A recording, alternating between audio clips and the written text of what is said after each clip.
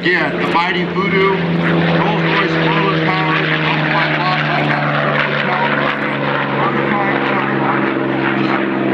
The 22-year-old Yeah. air race phenom, Stephen Hinton. Claims to fame for next generation. I mentioned his name under 20, Ridge Runner. Again, he's got his uh, race motor on here. This is his Micro Sparrow Racing engine, the one that took him to second place in Dayton Red last John Penney at number 77, a rare there. The mightiest Bearcat of all time, the rare bear, with two colors and the same winning attitude. Boot Gibson and that beautiful paint job. Thank God they changed that. Number 99, Riff Raff. Powered by the mighty Wright, 3,350 cubic inch engine, making over 3,000 horsepower. And by the way, he's been And they doing bumped about 30 miles an hour faster to speed just in aerodynamic cleanups. part of the Howard Pardue Air Wing, the Hawker Sea Fury, flown by Nelson Ezell, number 13. He's going to take them around behind Peavine Mountain, around behind your left shoulder. They're going to come across behind Peavine Mountain. They're going to turn in over behind your right shoulder, and they're going to come down what we call the chute. Gentlemen, you're looking good. Gentlemen, you got a race.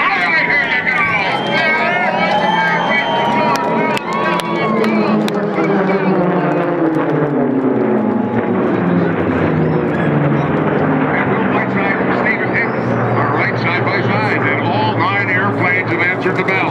Two of the most highly modified Mustangs of all time, Voodoo and Strega. All right, Stephen Hinton just took first place in Strega race number seven.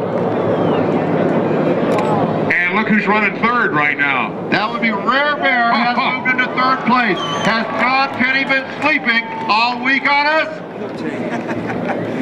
Is he going to do it? Okay, it's the kid versus the veteran. Here we go. And Will Whiteside's in between running interference. Mercy. Down on the far side, they coming down that one long two mile straightaway. Listen They- to this, folks. This is what we wait all year long Here it is. Here it is.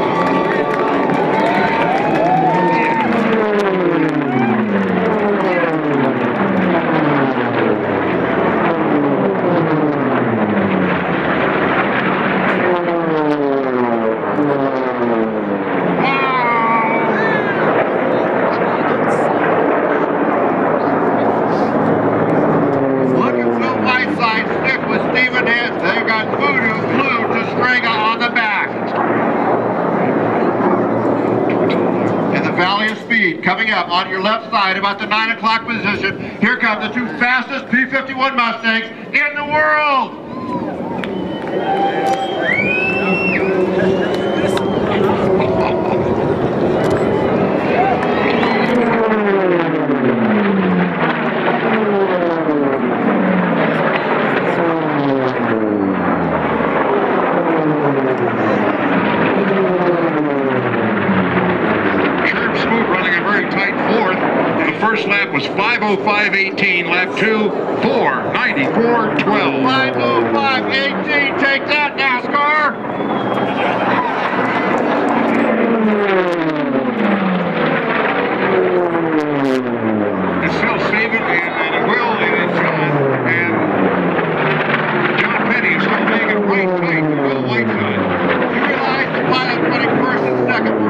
just a couple years ago. Two years ago for Steve Hinton, about four or five years ago for Will Whiteside. The two young kids in the field are first and second. At this 499, Floyd 32. Well, none of them can sleep in this race because we've got two faster, fast airplanes right behind them. There's no sparing this afternoon.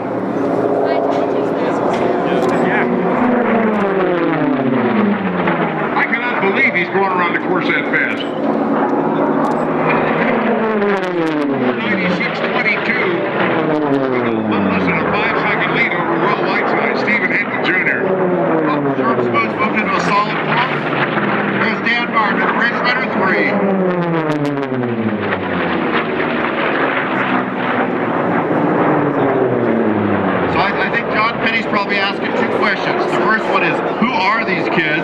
the second one is, how are they getting these together this long? Yeah, that's right. Usually you're running this hard and you've got uh, something leaking out of them and people moaning, uh, gnashing of teeth. Not today. I'm really impressed with Stephen Hinton. Okay, the Valley of Speed. Look off your left at 9 o'clock position. Here he comes again, the 22-year-old phenom, Stephen Hinton.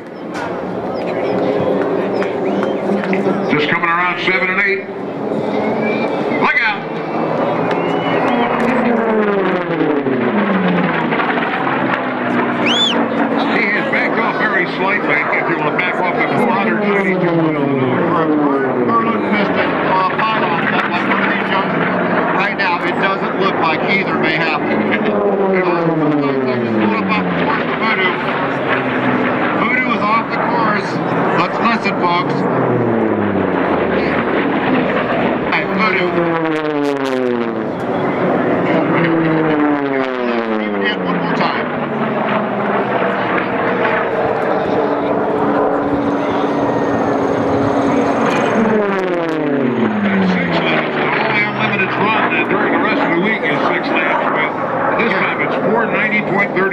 We just got the word from Will Whiteside. There's a little bit of smoke in the cockpit, but it's nothing catastrophic. All right, there's John Penney. John Penney is now running uh, in second.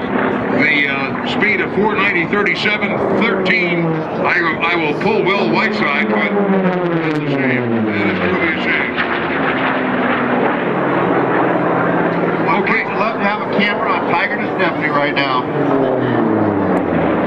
This time when Stephen Hinton comes around the corner in Strega, watch for the white flag out of the Reno Breitling home pylon. This is the fastest 67 and a quarter miles I have seen run out here. Here he comes, folks. Watch it. Mark.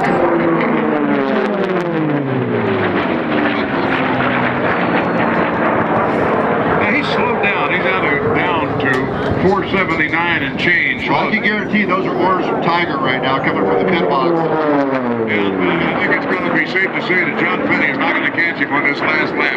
That white flag is Will up. Whiteside up off the course in Voodoo. That uh, gave him a pretty good lead. I'm sure Tiger said, save that engine, kid. Save that engine. You've got seven miles to go. Oh, right. That's it. And he's got half the course to go now. A 13 second lead over over John Penney, and uh, I think that's the way we're going to shake it out. Okay, gear down is on Voodoo, and he's landing out across the way. He's straight ahead of us coming in on 1-4. Everything looks good. He should have the runway made. Okay, but we want our eyes off to the left. Here comes your race champion, Stephen Hinton in race 7. Bring it out!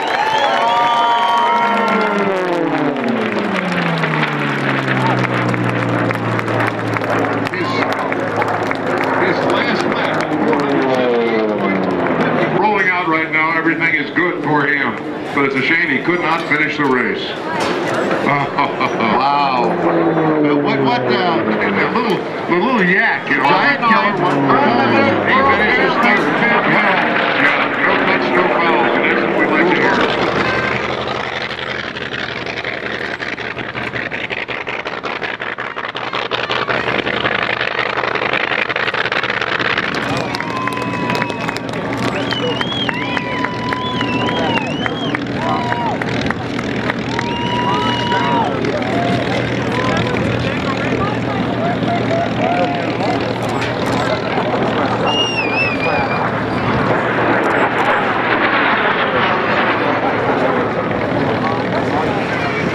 Come on, Steve, give us some words. Tell us about the race. You got fans out here want to know what it was like. You know, everybody knew you could do it, but at 22 years of age, you are the reigning world unlimited air race champion. How does it feel, my friend? Uh, speechless right now. It's uh, lost for words, but uh, you know, we had him on the start and never looked back since then. Uh, whooped him good. Can't wait till next year. Tiger, come over here and talk to us. All I can say is you got you saw some excellent airmanship and pilot uh, driving right there. So uh, we now have a new world champion. And It is so great to hand this reign over to uh, Steve-O. We've got a new unlimited air race world champion. Enjoy it, my friend. You've earned it.